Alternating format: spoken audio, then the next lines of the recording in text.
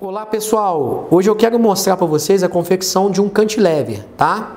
Esse cantilever ele serve para verticalizar o molar, mas também serve para intrusão dos dentes anteriores. Então para isso nós vamos utilizar um fio 17 por 25 TMA. Eu utilizo o alicate 139 ok?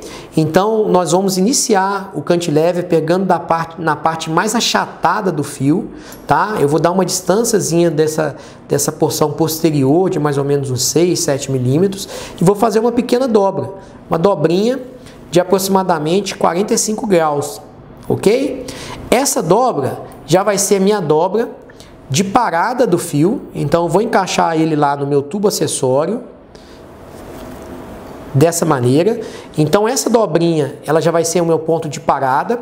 Eu utilizo o tubo duplo de Rote da Morelli. Eu gosto desse tubo pelo fato do tubo acessório ser um pouquinho mais para a região vestibular, o que dificulta, né, no caso, é, favorece a não machucar o paciente nessa região lateral de vestíbulo, ok?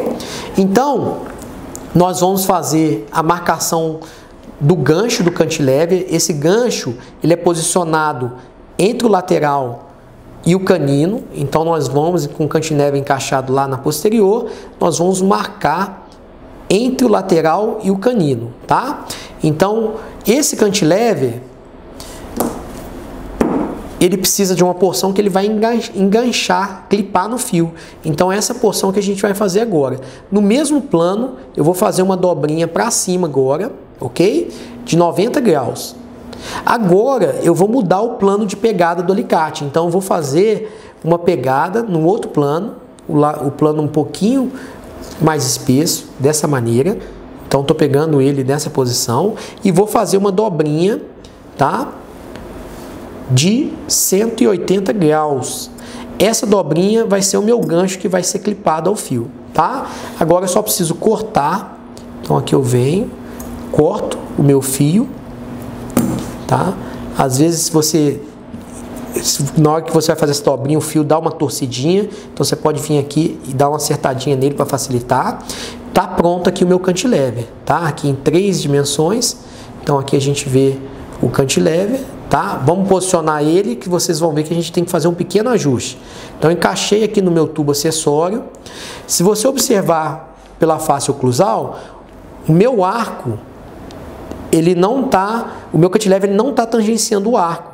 Então vou precisar corrigir isso. Como que eu faço? Eu utilizo um alicate de la rosa, tá? E faço um contorno nesse fio do cantilever para que ele possa tangenciar o meu arco. Agora sim, meu cantilever já vai estar tá posicionado. Vamos ver a vista oclusal, vou encaixar ele aqui no tubo acessório. OK? E aí eu só preciso clipar ele no arco. Vamos ver pela outra posição, ó. O cantilever ativado, ele fica lá no fundo de vestíbulo, ok? Para que eu possa posicionar ele, tá? Eu gosto de pegar às vezes o alicate Wengert, vem aqui e encaixo ele no arco. Para que ele não fique soltando, né? É interessante que a gente feche essa essa última dobra, tá vendo? Então às vezes você pode vir aqui, ó, e deixar essa dobrinha um pouquinho mais fechada, dependendo do calibre do seu arco. Então dificulta o cantilever soltar. Então aqui a gente está tá com o cantilever, encaixamos ele no arco. E aí ele fica mais difícil de soltar, ok? Então pessoal, vamos confeccionar o cantilever do outro lado de um pouquinho mais rápido, tá? Então vocês já viram o vídeo. Então eu vou colocar, fazer uma dobrinha de 45 graus, vou instalar ele lá no meu tubo acessório ok? Vou fazer a marcação entre o lateral e o canino, dessa maneira. Fazer uma dobrinha no mesmo plano, para superior. E agora eu vou mudar o plano para fazer o ganchinho, tá? Aqui, ó.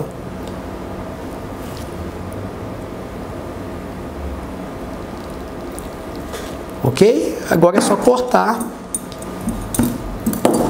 só cortar a pontinha do do fio, tá aqui o meu cantilever. Já sei que eu vou precisar contornar, então já venho com o meu dela rosa e já faço o contorno dele dessa maneira, ok? Então nós vamos encaixar ele lá no tubo acessório. A ativação ela tem que ser proporcional para que eu não cause um desvio do plano oclusal, tá? E aqui eu vou encaixar ele agora no meu fio. Eu venho e clipo ele no fio. Então tá pronto aqui os meus dois cantilevers. Que eu queria falar para vocês agora, quem assistiu o vídeo agora tem um bônus, né? Eu sempre faço isso.